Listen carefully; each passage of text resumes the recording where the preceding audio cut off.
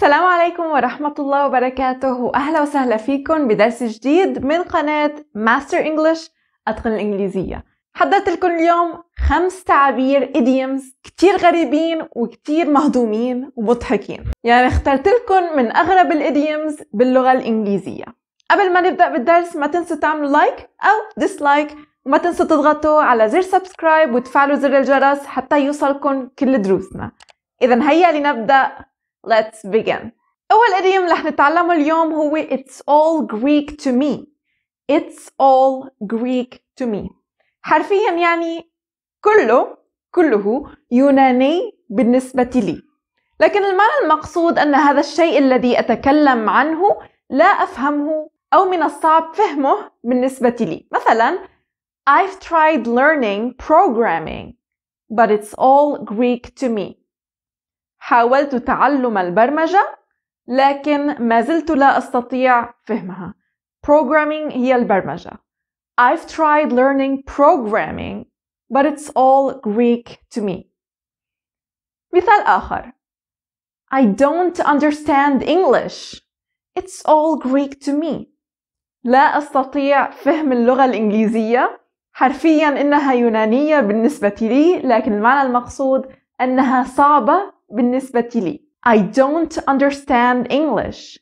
It's all Greek to me. إذا تشعر بأن اللغة الإنجليزية صعبة ولكن تريد أن تتعلمها فاشترك في قناتي على اليوتيوب بالضغط على زر subscribe وبتفعيل الجرس حتى يوصلكم الدرس أول بأول. وفيكم كمان تشتركوا على قناتي بالتليجرام حتى يوصلكم كل ال PDFs وكل دروسنا أيضا. تاني تعبير رح نتعلمه اليوم هو pardon my French. Pardon my French. أو excuse my French. Excuse my French. حرفيا تعني أعذر لغتي الفرنسية. أعذر لغتي الفرنسية. لكن نستعمل هذه العبارة عندما تستعمل كلمات غير جميلة أو غير مقبولة وعندما نشتم. ونريد أن نعتذر على استعمال هذه الكلمات. مثلا Pardon my French but I've had a hell of a day Pardon my French but I've had a hell of a day أعتذر عن كلامي لكن يومي كان جحيما لما نستعمل hell باللغة الإنجليزية هي بمعنى جحيم لكن منا كلمة كتير حلوة لذلك عم نقول pardon my French أو excuse my French pardon my French but I've had a hell of a day جملة أخرى I shouldn't have said that excuse my French I shouldn't have said that ما كان يجب أن أقول ذلك excuse my French أعذر كلامي I shouldn't have said that excuse my French الإديوم الثالث لليوم هو monkey business monkey business monkey تعني قرود وبزنس تعني أعمال حرفيا monkey business تعني أعمال القرود لكن المعنى المقصود هو إما أعمال مشبوهة وغير قانونية أو أعمال سخيفة. إذا نستعمل monkey business لنتحدث عن أعمال مشبوهة أو غير قانونية أو عن أعمال سخيفة. مثلا I want to sleep. Stop disturbing me by your monkey business. I want to sleep. Stop disturbing me by your monkey business. أريد أن أنام توقف عن إزعاجي disturb تعني يزعج بأعمالك السخيفة I want to sleep Stop disturbing me by your monkey business جملة أخرى بمعنى أعمال مشبوهة What monkey business are you two doing in the middle of the hallway? What monkey business are you two doing in the middle of the hallway? أي أعمال مشبوهة تقومان بها في منتصف المدخل الكوريدور. What monkey business are you two doing in the middle of the hallway? الإديم الرابع لليوم هو fat chance. Fat chance. Fat chance حرفيا تعني فرصة ثمينة أو فرصة بدينة. لكن المعنى المقصود أن هناك فرصة ضئيلة جدا لحدوث أمر ما.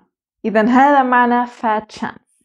لكن الأغرب من هذا التعبير أن slim chance والتي حرفيا تعني فرصة نحيلة أو فرصة ممشوقة لها نفس معنى fat chance إذا فإن fat chance و slim chance قد تبدوان أن لديهما معنى مختلف لكن لهما نفس المعنى fat chance و slim chance لنرى أول جملة Anna said that there's a slim chance she'd get back together with Craig. Anna said that there's a slim chance she'd get back together with Craig. قالت أنا أن هناك فرصة ضئيلة لعودتها مع كريغ. Anna said that there's a slim chance she'd get back together with Craig. Get back together يعني أن تعود إلى أن تعود في علاقة مع هذا الشخص. Are you going to buy a new car this year. هذه محادثة بين A و B. A يسأل الشخص B Are you going to buy a new car this year? هل ستشتري سيارة جديدة هذه السنة؟ يرد عليه B Fat chance. هناك فرصة ضئيلة. Fat chance.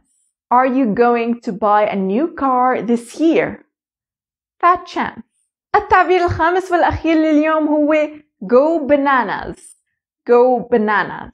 إذا بنانا تعني موز وجو تعني يذهب حرفيا جو bananas تعني أن يذهب موزا لكن المعنى المقصود هو أن يجن جنونه بجن إما لأنه متحمس وكتير مبسوط لشيء أو بجن لأنه غاضب جدا إذا she'll go bananas if she sees the house in this dirty condition.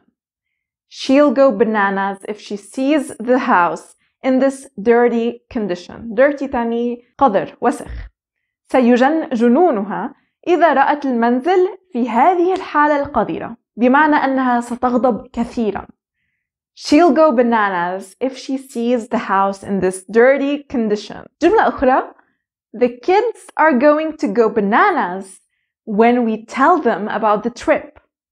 The kids are going to go bananas when we tell them about the trip.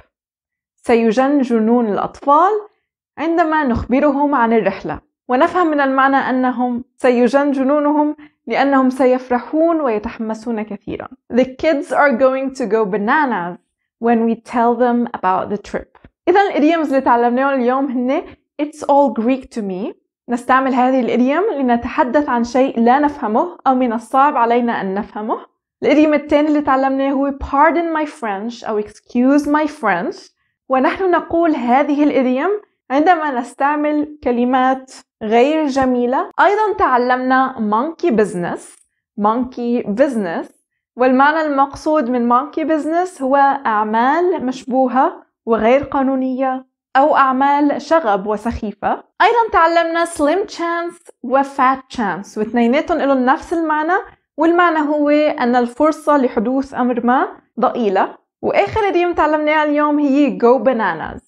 أي إنه جن. إذا هول كانوا أغرب ال idioms وأهضم ال idioms باللغة الإنجليزية. إذا بتعرفوا idiom مهضوم بتحبوه أو بتحسوه غريب اكتبوا لي إياه بتعليق بال comment section تحت الفيديو. وشكرا كثير لكم لحسن متابعتكم. ما تنسوا تتابعوني على التليجرام وبشوفكم إن شاء الله بالدرس المقبل. كان معكم نور. سلام عليكم.